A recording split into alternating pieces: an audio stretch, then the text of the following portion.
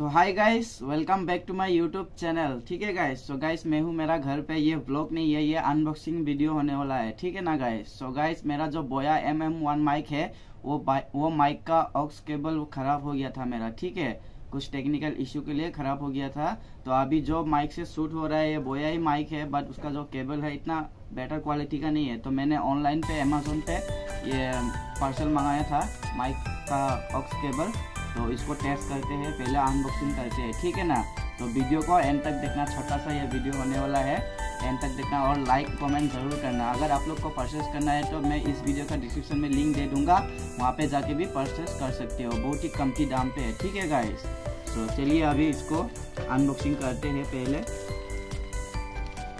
यहाँ पे टेस्ट करके भी देखूँगा, ठीक है? वॉइस अभी कैसा आ रहा है? बाद में ये लगाने के बाद वॉइस कैसा आ रहा है? आप लोगों को कमेंट सेक्शन पर ज़रूर बताना। अनबॉक्सिंग करते हैं तो सबसे पहले आपको ये मैनुअल मिल जाता है बोया एम एम माइक का केबल का, ठीक है ना? यहाँ पे लिखा हुआ है अमेजोन रोहित सुनार पीची सरकारी बागान हाफलोंग आसाम।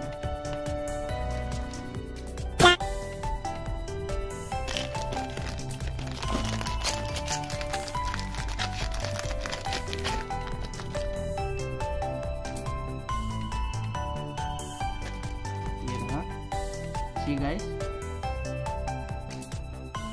कितना खूबसूरत है, कितना लंबा है, ठीक है ना? आप इसे तान भी कर सकते हो। तो ये लचक करवाते हैं, इसका साउंड कैसा आता है आप लोग कॉमेंट में बताना, ठीक है ना? तो अभी चेक करते हैं। सो so गाइस मैंने वो एल्क्स cable Boya M N mic के साथ फिटिंग कर दिया है ठीक है? अभी कैसा आवाज़ वॉइस आ रहा है आप लोग पता चलेगा आप लोग को ठीक है ना? क्लियर आए शायद क्लियर ही आ रहा है होगा गैस पहले से तो बेटर आ रहा है शायद पहले जैसा हो गया ठीक है ना?